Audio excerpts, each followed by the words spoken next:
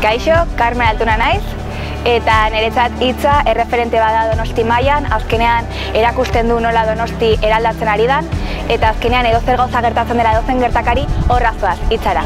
Orduan ba, zoragarria da, olako talde bat egotea eta horrelako proiektuain polita olako hiri batean.